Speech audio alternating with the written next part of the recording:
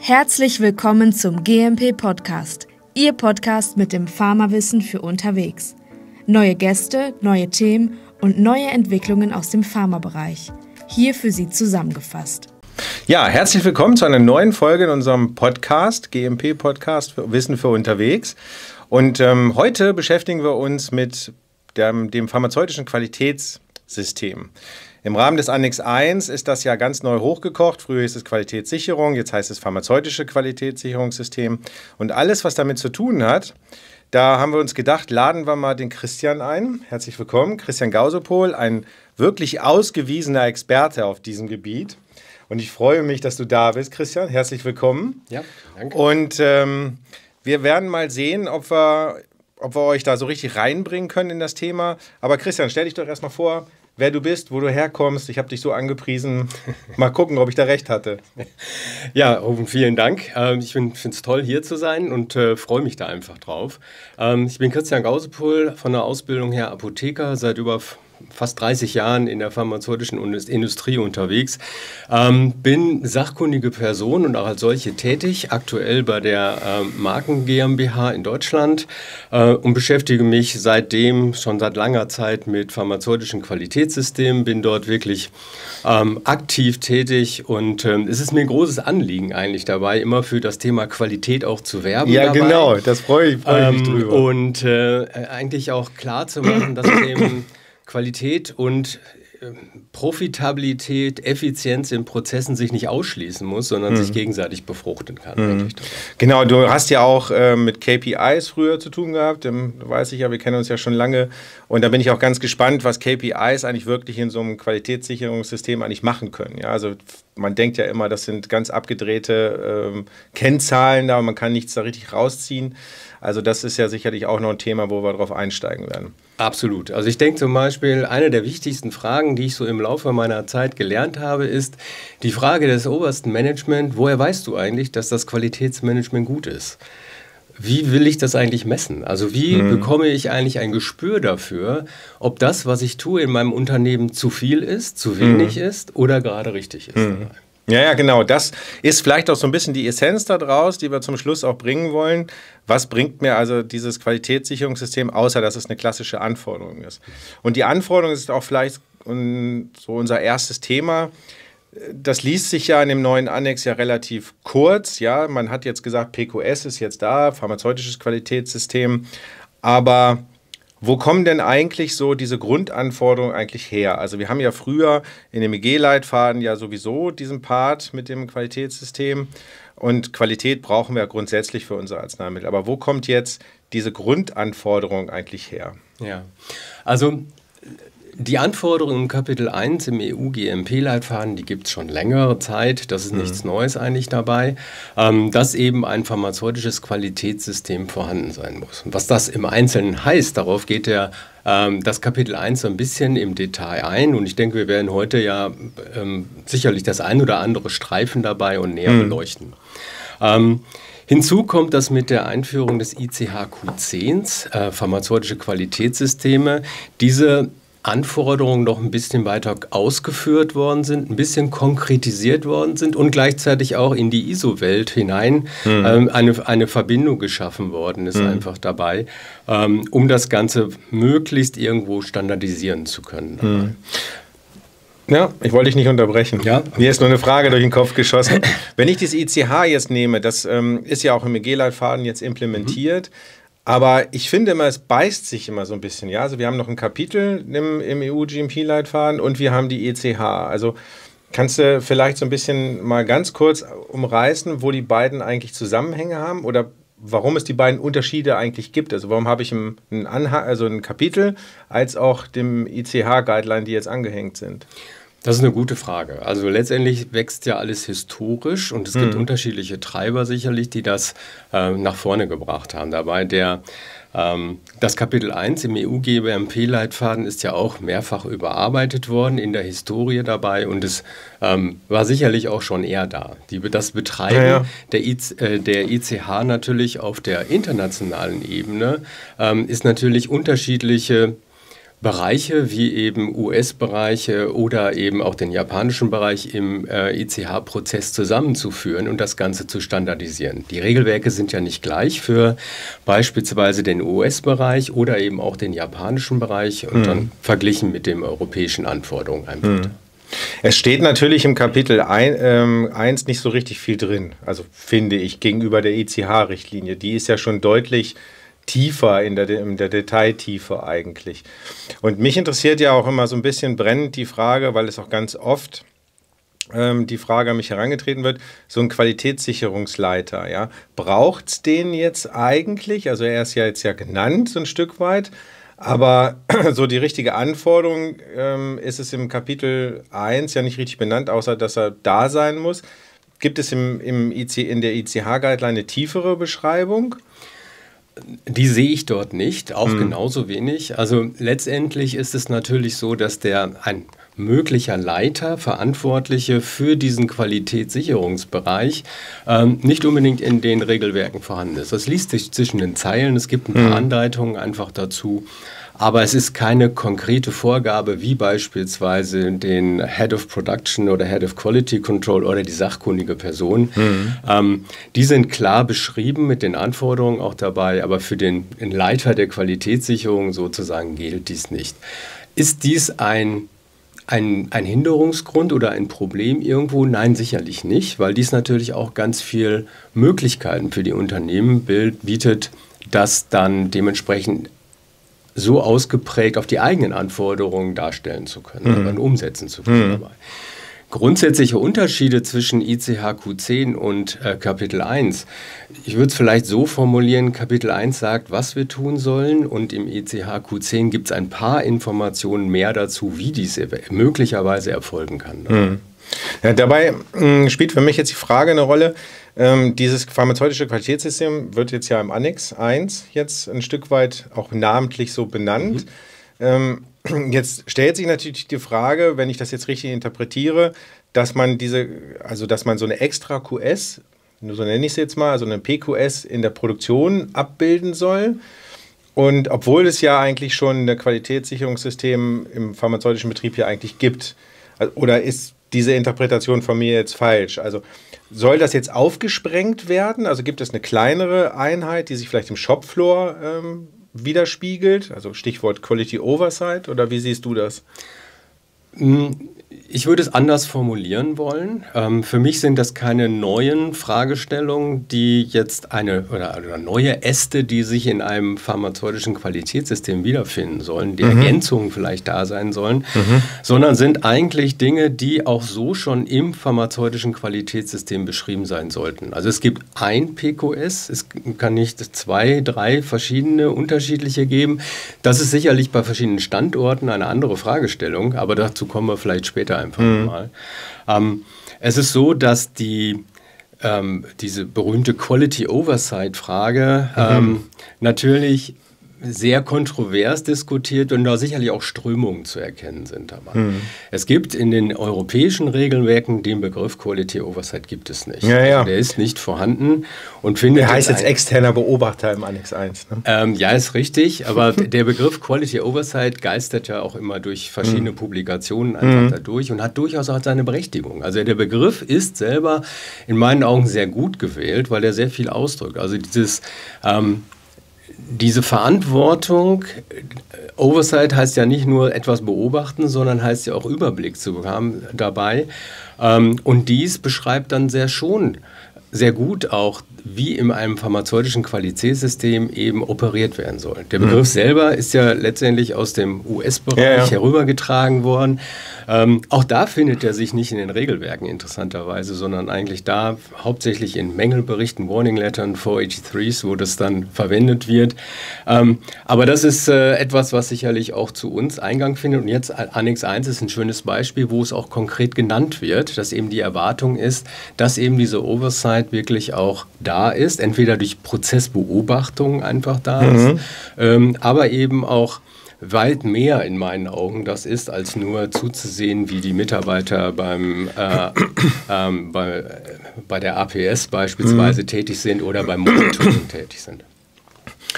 Ich kenne aber so ein paar Firmen, die sich jetzt einfach gedacht haben und den Annex 1 so interpretiert haben, dass ich jetzt ein Stück QS nehme und das PQS nenne und das in die Produktion integriere. Siehst du da einen Vorteil eigentlich? Weil wenn ich deine Ausführungen jetzt eben nochmal in äh, Revue passieren lasse, dann ist es eher so, dass du das nicht so gut findest, wenn sich mehrere Stränge oder Äste bilden.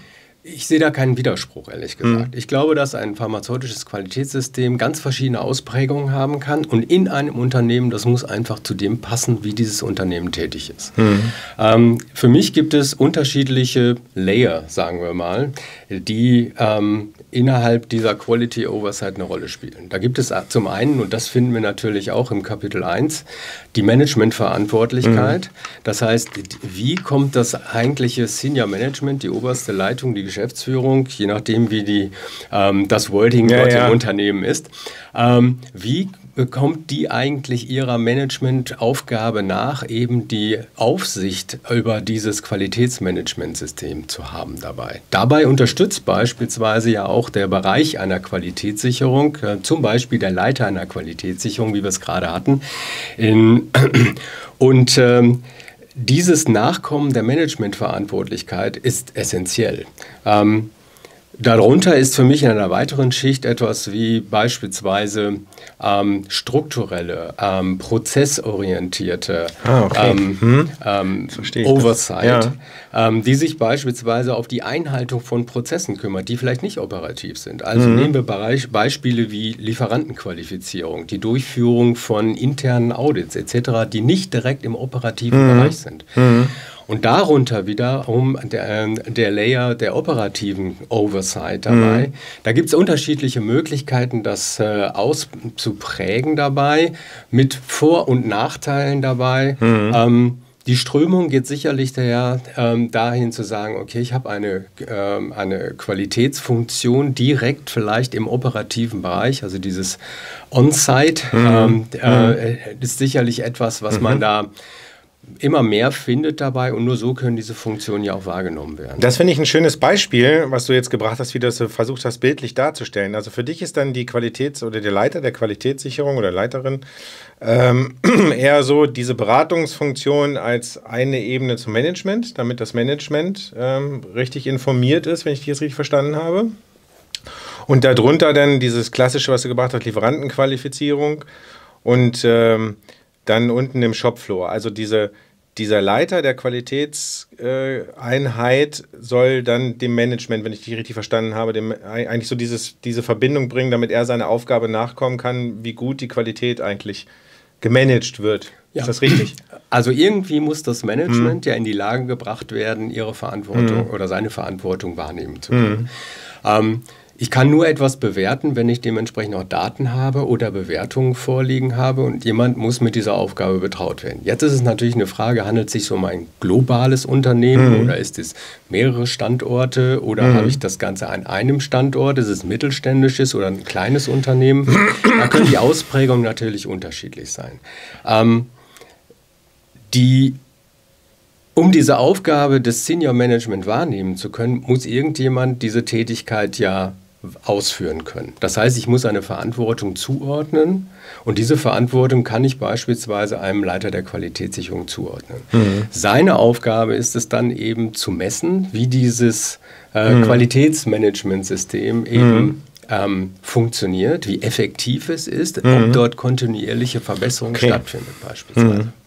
Okay, und dann das würde mich jetzt ja auch zu der, zu der Überlegung bringen, wenn ich jetzt natürlich so eine, so eine Verantwortungsübertrag jetzt äh, getätigt habe, das wirft ja dann ja auch die Frage auf, was ist denn eigentlich der Zusammenhang und diese Ziele, die ich eigentlich mit einer äh, Qualitätssicherung verbinde. Sicherlich ist es ein gutes Arzneimittel und im Sterilen ein steriles Arzneimittel, also ein vernünftiges Arzneimittel, möglichst ohne Fehler zu produzieren. Aber das kann es ja dann letztendlich ja nicht in, im Detail dann sein. Ne? Ja. Also ich glaube, das ist mehr und, und, so ein bisschen aus der betriebswirtschaftlichen Sicht heraus. Ich denke, es ist einfach wichtig zu wissen, worum geht es eigentlich dabei. Es geht mhm. eben nicht nur um die Qualität. Die Qualität des Arzneimittels ist ein absolutes Must. Ich denke, mhm. darüber brauchen wir nicht reden. Brauchen wir nicht zu reden. Das genau. versteht sich von alleine. Das muss in mhm. jedem Fall den Spezifikationen und mhm. den Vorgaben entsprechen dabei. Ähm, der Weg, wie es hergestellt wird, auch der ist beschrieben in den mhm. Zulassungsunterlagen. Auch die müssen eingehalten werden. Auch das sind Dinge, die sind selbstverständlich eigentlich dabei. Das PQS, was ich habe, muss aber sicherstellen, dass ich eben auch dort mit einer hohen Wahrscheinlichkeit lande dabei.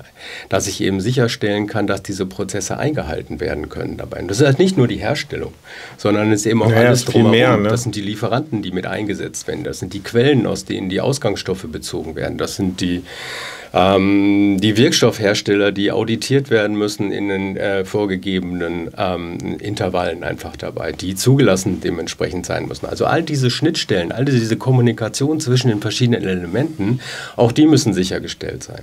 Das Zweite ist sicherlich dabei, ähm, das Ganze muss ja auch irgendwo eine Wirtschaftlichkeit haben, denn das Unternehmen muss und soll daran natürlich entsprechend nicht nur Geld verdienen, sondern es muss auch noch ähm, was bezahlt bleiben. Es muss auch mhm. was übrig bleiben für die ja. Mitarbeiter sicherlich ja, ja. dabei.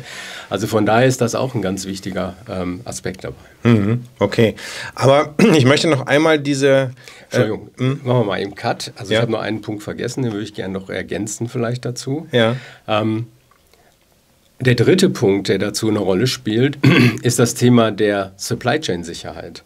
Ähm, auch das wird natürlich zunehmend sowohl in Europa als auch in den USA nach vorne gebracht. Und ähm, die kritische Bewertung der Zuverlässigkeit der Supply Chain ist natürlich essentiell. Einmal aus Sicht des jeweiligen Gesundheitssystems und der Patienten, aber eben auch des Unternehmens, die eben meldepflichtig sind, inwieweit sie ihrer Supply Chain Verpflichtungen nachkommen können oder nicht nachkommen können. Also von daher, diese dritte Fragestellung ist dann eben, dass die dass wir sicherstellen können in dem Unternehmen mittels auch unseres PQS dabei, dass wir eben die Supply Chain bedienen können. Das ist interessant, weil mir ist nämlich gerade nämlich Supply Chain durch den Kopf geschossen, äh, wie weit das jetzt eigentlich da reinspielt. Das heißt, früher wurde das ja so ein bisschen, die Supply Chain ja so ein bisschen so ein, als so ein notwendiges Übel betrachtet, damit ich die Kette so ein bisschen im Griff habe. Das war eher nur der wirtschaftliche Faktor, der die Supply Chain eigentlich ähm, umrandet hat. Jetzt bringst du ja ein, ein QS-Thema mit dazu. Das heißt, die beiden Funktionseinheiten oder Verantwortungsträger müssen dann eigentlich mehr oder weniger zusammenarbeiten? Ich sehe da keinen Widerspruch, ehrlich hm. gesagt. Also letztendlich All das, was wir tun in der Herstellung äh, von Arzneimitteln, Entwicklung und was alles mit dazugehört, dient ja letztendlich dem Patienten und natürlich dem Unternehmen, um einen Unternehmenserfolg zu erreichen dabei, was mhm. ja nichts Verwerfliches ist. Grundsätzlich ähm, nicht, nee. Und die Supply Chain selber, also das ist, wie bekommen wir eigentlich sichergestellt, dass das ähm, Produkt, das Medikament eben so in der vorgegebenen Form zum Termin in der richtigen Menge beim Patienten eben auch ankommen kann. Mhm. Ähm, ich denke, dass das alles keine Ziele sind, die sich widersprechen, sondern eben gemeinsam. Nee, das meinte ich auch nicht, dass sie sich wieder widersprechen, sondern eher, dass man jetzt, ähm, also wenn ich jetzt den ersten Ausführungen von unserer Diskussion so äh, schnell mal Revue passieren lasse, dann ist ja mittlerweile die PQS ja eine, eine Einheit geworden, die mit relativ vielen Abteilungen eng zusammenarbeiten muss. Also früher hat man die ja, ich bringe immer gerne das Beispiel, dass sie ganz oben sitzen, ja, und unten wird dann gearbeitet und ab und zu kommt mal einer runter vom Berg und hält eine neue Steintafel raus und sagt, hier, das ist wieder eine neue SOP. ähm, ich glaube, dass dieses Bild veraltet ist, sondern dass wir in, in dieser neuen Generation der QS irgendwie miteinander viel stärker miteinander agieren müssen, weil wir einfach so global zusammenhängen, so intern wie auch extern. Ne? Ja. Es ist ganz spannend zu sehen, dass gerade diese Supply Chain-Fragen, hm. ich sag mal, in diesen neueren Initiativen, die es gibt, zum Beispiel in den, äh, in den USA bei der FDA, klar im Qualitätsrisikomanagement verhaftet werden. Also auch da gilt es bei dem die bei den überregionalen jetzt äh, Guidelines oder was meinst du jetzt? Es ist noch nicht auf Guideline-Ebene, ah, okay. aber da gibt es halt ähm, in diesem Fall das ähm, äh, Quality Management Maturity mhm. ähm, Programm der FDA, mhm. Ähm, in dem klar als Ziel formuliert wird, dass sie erwarten, dass sicher, das Sicherstellen der Supply Chain ein Teil des Qualitätsrisikomanagements sein muss. Und da mhm. ist, ist in meinen Augen auch schon klar, in wo, in welche Richtung eigentlich dort ähm, es laufen wird. Und es ist kein Widerspruch. Ich halte es für absolut nee, nee. Ähm, sinnvoll, das eben so Find zusammenzuführen. Ich auch. Ja. Okay, und äh, was mir noch eingefallen ist, ähm, in unserem Vorgespräch äh, haben wir auch so, hast du vorhin jetzt so ein bisschen angerissen mit der, Quali äh, mit der ähm, äh, QP. Jetzt hat die QP ja auch einen immer höheren Stellenwert. Du bist ja selber ja auch QP mhm. ähm, erreicht. Also früher war das ja ein Stück weit diejenigen, die final unterschreiben, ja, und blättern mal durch und gucken im, im Dokumentmanagement-System, jo, passt alles. Aber letztendlich ist das jetzt ja zu einer Funktion geworden, die auch mit da reinspielt. Ja, also sie sind zwar gesondert voneinander, aber ich finde, es beißt sich, also deswegen nehme ich dein Beispiel, es oder was, was du aufnimmst immer im Wording. Ich finde, dieses Mal beißt es sich. Also eine, eine Qualitätssicherung und eine QP sind zwar nebeneinander angeordnet, aber irgendwie äh, beeinflussen die sich beide, mhm. oder? Mhm. Also Absolut. wie spielt die, P ja. wie spielt die, äh, die, die QP jetzt in die QS rein? Ähm, absolut. Also das eine ist sicherlich die organisatorische Frage. In vielen Unternehmen sind Leiter QS und QP durchaus ähm, in Personalunion. Auch das erst findet man auch dort schon. Das andere Aber da eine kurze Frage. Mhm. Findest du das eigentlich richtig, wenn die QP in ihrer unabhängigen Funktion eigentlich auch Leiter der Qualitätseinheit ist? Ähm, es hat gewisse Vorteile. Mhm. Ähm, in größeren Unternehmen wird das sicherlich schwierig, weil dann sehr, sehr viel, ich sag mal heute jetzt eben Oversight-Aufgaben eben in der Qualitätssicherung mhm. sind, die dann nicht mehr unbedingt mit der originären Aufgabe der QP äh, zu tun haben dabei und dann einfach der Fokus der QP plötzlich woanders ist als auf den äh, Produkten. Es muss aber immer klar sein, dass die sachkundige Person allein im luftleeren Raum gar nicht existieren kann dabei. Das heißt, sie muss sich schon auf das pharmazeutische Qualitätssystem ja verlassen können dabei. Und ähm, dazu gehören eben Tätigkeiten, die klassischerweise in Qualitätssicherungsbereichen äh, eben verortet sind. Dazu gehören solche Dinge wie Lieferantenqualifizierung. Wir hatten das Beispiel ja. Hm. Ähm, oder eben auch Schulung äh, von Mitarbeitern, eben sicherzustellen, dass die Mitarbeiter ausreichend geschult sind. Es geht nicht um die Durchführung, sondern eben die Übersicht darüber zu haben, wie ist denn eigentlich der Trainingsstatus der Mitarbeiter dabei. Ähm, das gleiche gilt sicherlich für andere Grundlagen, die erforderlich sind nach Annex 16 für äh, die QP, um eine Freigabe durchzuführen. Also die QP ist nie alleine dort, sondern muss sich immer auf die Systeme verlassen. Das zu überprüfen ist natürlich ihre Aufgabe dabei. Ähm, die Verantwortung bleibt trotzdem bei der QP bei einigen dieser Stellen, aber es ist kein Widerspruch für mich. Mhm. Ja, das sehe ich ein bisschen anders. Also ich glaube, dass, der, dass da zurzeit zumindest noch ein sehr starker äh, Widerspruch in sich besteht, weil die beiden Systeme im ähm, äh, verschiedenen Unternehmen oftmals konkurrieren. Ja? Also der eine überprüft, beziehungsweise der ein, es ist ja nur einseitig, ja. Also der eine überprüft den anderen, während der andere nicht den anderen überprüfen darf. Ja? Sicherlich ist das so, dass historisch vieles gewachsen ist, in den mhm. Unternehmen so. Ähm, ich glaube, dass es ein guter Weg ist, gemeinsam an diesen Dingen zu arbeiten. Und mhm. für mich ist einer der ersten Dinge, wenn ich in einem, so einem Unternehmen bin ähm, und dann als sachkundige Person dort tätig bin, ich möchte schon genau wissen, wer macht eigentlich was. Diese berühmte RACI-Matrix, also die Festlegung, wer ist für welche Dinge verantwortlich, wie stütze ich mich als sachkundige Person eigentlich darauf, ähm, wie sehe ich das eigentlich was sind die Dokumente oder der, die, der Nachweis, der zu bestimmten Dingen einfach dazugehören? Wie komme ich an diese Informationen? Das muss man einmal beschreiben. Letztendlich ist es eine große Matrix, in dem ich das zuordnen kann. Die Verantwortung, also es gibt ja delegierbare äh, äh, Aufgaben dabei mhm. bei der sachkundigen Person. Es gibt eben die Verantwortung. Die mhm. Verantwortung bleibt immer dort. Mhm. Die Aufgaben können natürlich ja, ja. delegiert werden. Es muss nur sauber beschrieben sein, einfach dabei. Ähm, es muss klar dargestellt sein, damit man das nachvollziehen kann. Das Schlimmste, was passieren kann, ist es nicht klargestellt. Und entweder machen es ja zwei so. gleichzeitig ja, oder genau. es macht keiner, was eben noch schlimmer wäre. Mhm. Du hast ja auch früher in, in größeren Betrieben gearbeitet. Hast du mal in Personalunion gearbeitet? Mhm. Und wie hast du da den Spagat hingekriegt?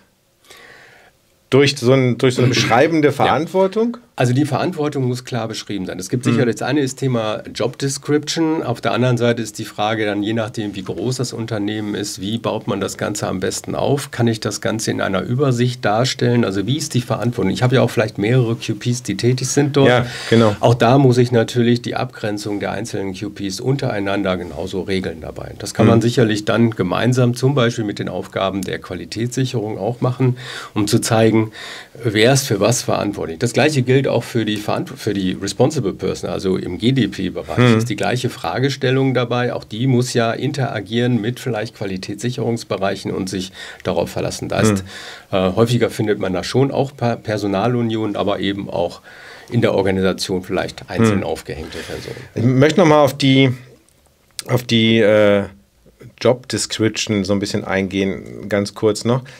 Wie detailtief würdest du denn so eine Beschreibung ähm, um diese Abgrenzung hinzubekommen, machen? Also gehst du richtig in nur in so, also richtig tief rein oder, oder, oder hast du so, so Überkapitel, wo du sagst, okay, ich bin jetzt hier für Lieferantenqualifizierung zuständig und ich mache die internen Audits und also bewegen wir uns auf so einer Ebene oder noch tiefer?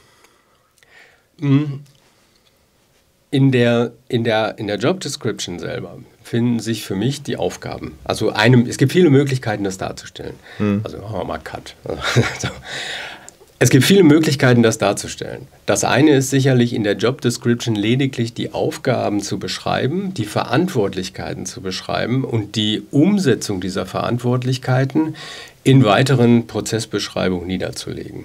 Ähm, das hat den Charme, dass ich diese natürlich dementsprechend ähm, breiter aufsetzen kann, vor allem dann, wenn ich mehrere sachkundige Personen vielleicht irgendwo habe.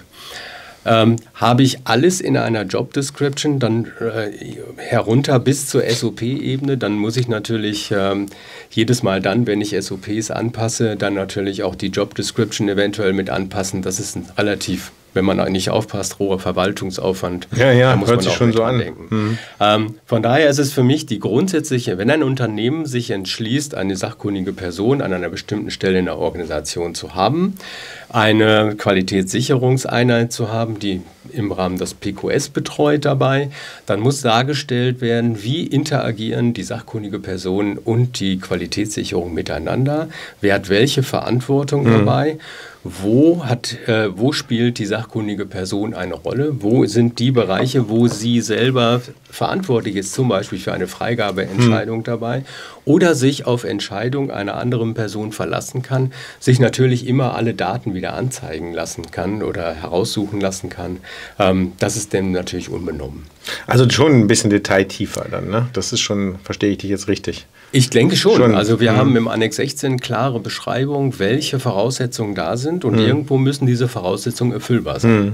Die sachkundige Person kann äh, im Rahmen ihrer Freigabe, ist es praxisfremd in meinen Augen, jetzt bis in den Schulungsstatus jedes einzelnen Mitarbeiters herunterzugehen im Rahmen der Freigabeprüfung oder im Rahmen des Batch Record Reviews. Hm. Ähm, all das sind Tätigkeiten, wo klassischerweise eine Interaktion mit der Qualitätssicherung stattfindet. Ja, das finde ich gut. Also das, es verlieren sich nämlich viele, die ich kenne, dann wirklich in dieser Detailtiefe. Also dass man, dass wirklich äh, QPs runtergehen bis in die Schulung, ist dieser Mitarbeiter jetzt geschult. Ne? Also das, ähm, weil das oftmals auch nicht so klar geregelt ist. Genau, aber ja. da was man sehr häufig findet, sind ja zum Beispiel der klassische Batch Record Review als ja. eine Unterstützungsfunktion im Rahmen der in, in, in Verantwortung der Qualitätssicherung dabei. Mhm.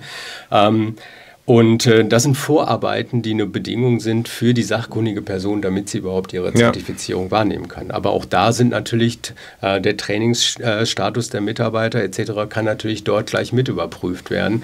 Und die sachkundige Person kann wiederum im Rahmen ihrer Aufsichtsfunktion dort äh, sich vergewissern, dass eben diese Tätigkeiten mhm. dementsprechend sorgfältig auch durchgeführt werden. Stichprobenprüfung wenn man selber als sachkundige Person äh, tätig ist, das gehört mit dazu. Ähm, Hast das du auch man gemacht? immer tun. Selbstverständlich. Du, man macht immer Stichproben irgendwo. Okay. Ähm, letztendlich, man kennt, irgendwann kennt man die Produkte sehr gut und weiß, wo man hinschauen soll. man kennt die Mitarbeiter und weiß, wo man hinschaut. Ähm, ja. Ich denke, das gehört mit zum Tagesgeschäft dazu. Ja, cool.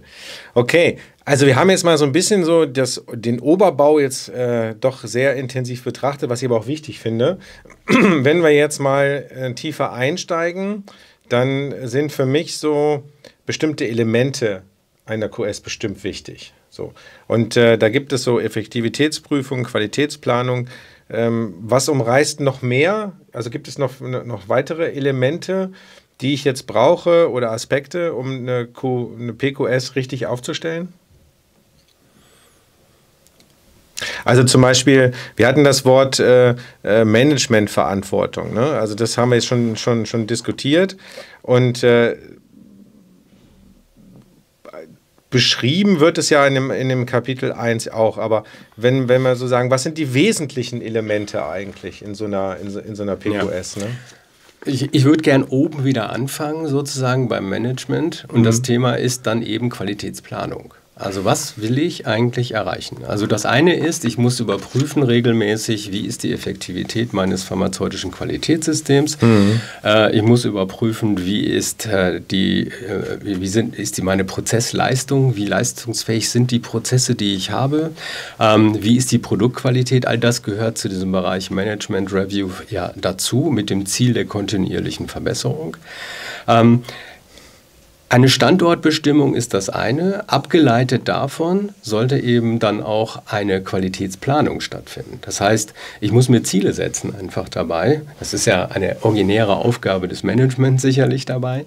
Ähm, ich muss Ziele setzen. Wo will ich denn eigentlich landen? Wenn ich eine Statusaufnahme mache und ich befinde mich in einem Bereich, wo ich vielleicht feststelle, dass ich in der Umsetzung meiner, meiner festgelegten Kappas ähm, aus, dem, aus, den, aus den Zeiten, aus den Fristen mhm. herauslaufe, einfach da, weil mhm. einfach nicht gut genug bin. Vielleicht mhm. aus Gründen der Ressourcen, vielleicht aus verschiedensten Gründen, weil dort vielleicht noch mhm andere Verbesserungen im System möglich sind dabei, dann ist das natürlich etwas, wo ich als Management kritisch hinaufschaue und dann eben Ziele festlegen muss, wie ich dies in Zukunft verbessern kann einfach dabei. Das kann über Ressourcen erfolgen, das kann über Prozessverbesserungen erfolgen, aber die eigentliche Festlegung, wo will ich eigentlich hin als Qualitätsziel ähm, dabei, dieses Ziel festzulegen, das ist Aufgabe eben des Managements. Dafür braucht man diesen Management Review, ähm, wo eben Daten dargestellt sind, um es auch verfolgen zu können. Aber ohne Daten kann. Ja, Daten ist ja heutzutage ganz wichtig. Und, aber bevor wir da reingehen, nochmal, das ist interessant. Äh, wenn ich jetzt Ziele festlege, weil du hast ja damit jetzt eben gerade gestartet, ich möchte mhm. mit, ich, ich, lege mir mehr, mehr, mehr Ziele fest. Jetzt haben wir ja gerade besprochen, eine Qualität ist ein Must. Ja, also ich muss ein gutes Arzneimittel bauen. Ich habe ähm, die richtigen Vorgaben über die Herstellanweisungen, über das Dossier. Wie also was für Ziele setze ich mir denn jetzt genau? Weil wir haben ja auch die Forderung des kontinuierlichen Verbesserungsprozesses. Mhm. Das ist kein Widerspruch. Also kontinuierlich. Nee, nee, das meine ich auch nicht. Aber was ist jetzt wirklich das Ziel? Ne? Ja. Also, also was, wie setze ich mir ein Qualitätsziel? Wenn ich Qualitätsziele festlege, dann ist das ja irgendwo, sind das irgendwelche Zahlen, etwas, was ich messen kann, etwas, was ich kann, bewerten kann. Das heißt, ich kann natürlich nur dann etwas äh, festlegen, um es verbessern zu können. Da ist der Link eben zur kontinuierlichen Verbesserung. Mhm. Wenn ich bereits Zahlen habe, wenn ich bereits Aussagen habe, wenn ich bereits Bewertungen habe. Das heißt, also das Erste, was es geben muss, ist das Bewertungssystem. Ich muss diese Daten haben, um eine Bewertung durchzuführen und daraus abgeleitet gibt es dann eine Vorgabe, wie kann ich von da das Ganze verbessern. Nehmen wir doch mal ein Beispiel. Was, was wäre für dich so, eine, so, eine, so, ein, so ein Ziel? Die Kappas zu reduzieren zum Beispiel? Also es gibt klassische Kennzahlen, die sich fast in jedem Unternehmen wiederfinden dabei. Eine dafür kann beispielsweise Kappa on Time Rate sein. Das heißt, wie sehr Time Rate, auch cool. Ähm, äh, in welchem Ausmaß sind die Maßnahmen, die festgelegt worden sind im Unternehmen, eigentlich umgesetzt worden und zwar effektiv umgesetzt worden. Es gibt eine ganze Reihe anderer Kennzahlen, die auch in den Kappa-Bereich reingehen, die klassischerweise eingesetzt werden. Aber nehmen wir an, dass wir dort eine Kappa- und Time-Rate von 65 Prozent haben. Das kann verschiedene Ursachen haben. Ähm, das kann an Ressourcen liegen, das kann daran liegen, dass die Kappas einfach schlecht gewählt worden sind, dass sie vielleicht gar nicht effektiv sind dabei, dass sie äh, äh, nicht die richtige Priorität haben, etc. Also es gibt viele Möglichkeiten dabei. Ähm, ein Ziel kann es sein, vom Management vorzugeben, ja, wir hätten gerne für jedes Quartal eine Verbesserung von 5 Prozent beispielsweise, ähm, um einfach dort dies ähm, besser leisten zu können. Was ist es für ein Indikator und warum ist es fürs Management wichtig? Dazu gehört beispielsweise eben die Aufgabe des Management eben auch Ressourcen ausreichend zur Verfügung zu stellen. Das können Personalressourcen sein, das können IT-Ressourcen sein, Systeme sein etc. Ähm, aber das Management muss halt diese Bewertung, habe ich ausreichend Ressourcen zur Verfügung gestellt, das mhm. ist schon wichtig dabei. Mhm. Ähm, und dass die Maßnahmen, die festgelegt worden sind, möglicherweise auch Qualitätsrisiken ähm, beheben sollen dabei, also dazu dienen, eben das Wiederauftreten von möglichen Abweichungen als Beispiel äh, zu verhindern. Das ist also auch von daher aus Qualitätssicht eminent wichtig. Okay, also ich lege mir als QS in Zusammenarbeit mit Management, nehme ich jetzt mal an, diese Qualitätsziele fest. Das bedeutet, ich überlege mir, was habe ich jetzt für Abweichungen? Vielleicht auch ein Indikator, ja? Also die, die Menge an Abweichungen? Oder ist eher mehr besser als weniger? Das ist, eine, das ist eine sehr gute Frage. Also ich bin ein großer Verfechter davon, dass die Anzahl der Abweichungen eigentlich überhaupt keine Kennzahl ist, zumindest aus Qualitätssicht.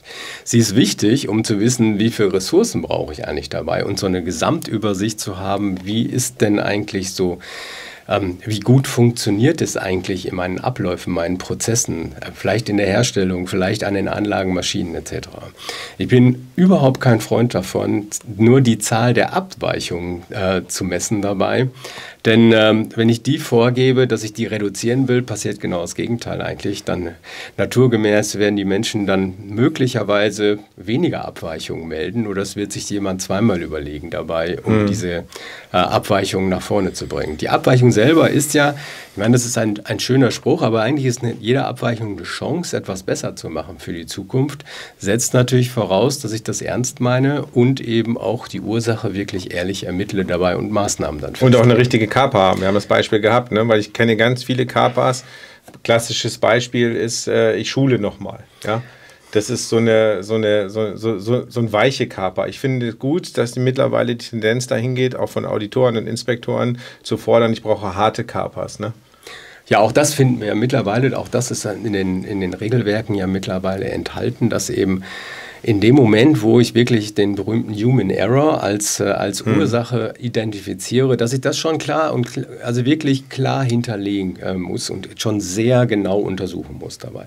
Es gibt immer die Möglichkeit, dass, also Menschen machen Fehler, das ist ganz normal. Hm. Es gibt immer die Möglichkeit, dass eben ähm, Menschen auch Fehler machen dabei. Ähm, die Frage, die dahinter steht, ist, warum hat der Mensch den Fehler gemacht? Ja, ja genau. Ähm, und manchmal ist es eben nicht der Mensch, der den Fehler macht aus böser Absicht oder weil er es nicht verstanden hat, sondern weil, er, weil es vielleicht auch sich widersprechende Ziele gibt. Also ich habe eine Zeitvorgabe für einen bestimmten Prozessschritt. Und ich stelle fest, ähm, da nicht. ist irgendwas hm. auffällig. Hm. Jetzt habe ich einen Zielkonflikt. Und je nachdem, hm. Äh, vielleicht den größeren Einfluss auf mich hat, mein Linienvorgesetzter oder der, hm. du hast es eben als Elfenbeinturm fast bezeichnet, äh, ja, ja. die QS im Elfenbeinturm, dann ist es sicherlich die Frage, in welche Richtung soll dieses Ganze laufen. Ich bin da grundsätzlich äh, der Ansicht, dass eben die Anzahl der Abweichungen ist wichtig, aber nur um Ressourcen planen zu können. Viel hm. wichtiger ist eigentlich die Frage, wie viele von den Abweichungen treten wieder auf? Hm. Also sind es Recurring Deviations, wie es so schön heißt dabei? Ist dies etwas, was ich vielleicht nicht richtig die Ursache dafür identifiziert habe dabei? Ist dies etwas, ähm, dass meine Maßnahme vielleicht nicht die richtige war? Oder ist die Maßnahme noch nicht umgesetzt? Das könnte ich nachvollziehen dann irgendwo dabei. Also von daher sind dann halt die Feinheiten dabei.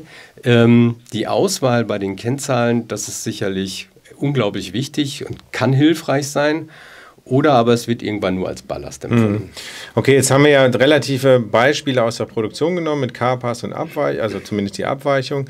Aber ähm, für mich ist noch nicht so ganz klar, du hast ja von mehreren Kennzahlen gesprochen. Also was mache ich außerhalb der Produktion? Gibt, gibt es weitere Kennzahlen, also Lieferantenqualifizierung irgendwie? Also ich habe noch nicht so den, den, den Griff dafür, wo ich überall Kennzahlen ansetzen kann, um das Ziel Qualität zu verbessern.